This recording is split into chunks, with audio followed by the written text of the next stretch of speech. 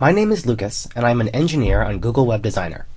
In this video, I'm going to show some improvements we've made to our animation tools. When setting an element's position, it's common to use left and top if you're creating a layout, but if you're creating an animation, it's usually preferred to use translation instead, and this is for a couple of reasons. First of all, translation performs better, animating at much higher frame rates than left and top, especially on mobile devices. Secondly, Left and top values are rounded to the nearest integer at render time, which can lead to jittering or jaggedness artifacts. To demonstrate that, let me show you a simple example. Here we have two elements that each move 200 pixels to the right and 10 pixels down. The upper element uses left and top, and the lower element uses translation. To better see what's going on, let's zoom in.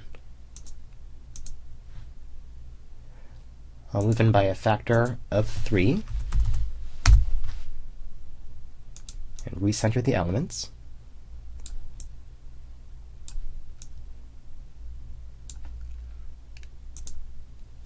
You can see that the left top animation moves downwards in a jagged stair-step-like motion, whereas the translation animation is smooth throughout.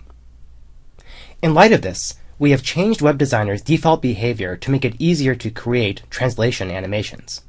In particular, we have changed the selection tool, so by default, when you position an element, we apply the changes to left and top if you're editing a layout, and to translation if you're editing an animation.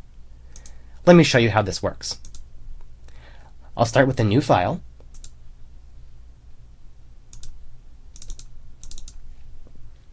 And I will add an image.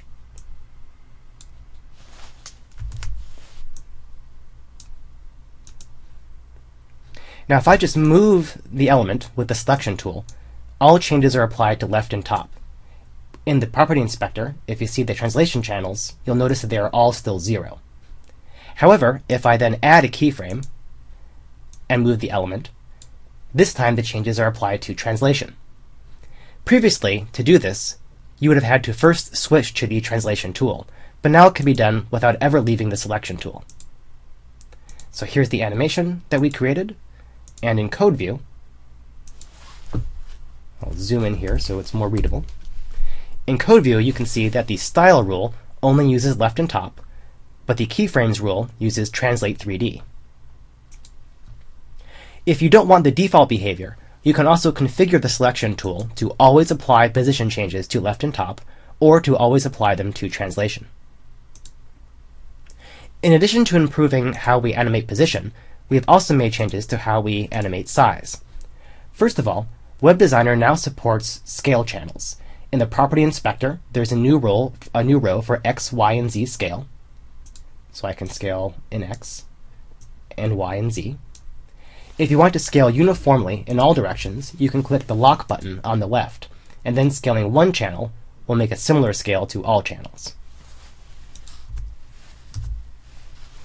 In analogy to how we treat position, if you resize an element using the selection tool, we apply those changes to width and height if you're changing the element's static size. But if you're creating an animation using size, we instead apply those changes to scale.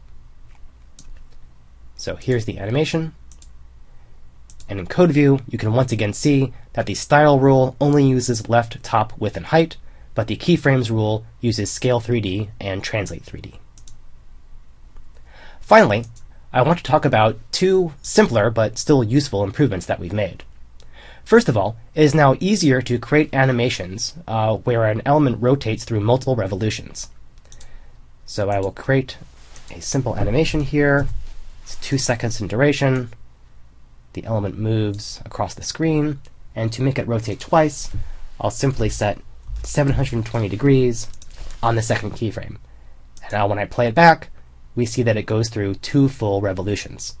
Previously, this would have required multiple keyframes because keyframes could only be at most 180 degrees apart, but now any value is legal. Finally, in the past, Web Designer lets you play either an animation once or to loop it indefinitely. But now you can also have an animation loop a fixed number of times. So for example, I'll create a simple animation where this car bounces up and down. There it is. And now in the advanced mode of the timeline, I will select the looping options, and have it loop three times. And if I play it back, sure enough, we see that it bounces three times. That's all I wanted to show you about our animation improvements. Thank you for watching.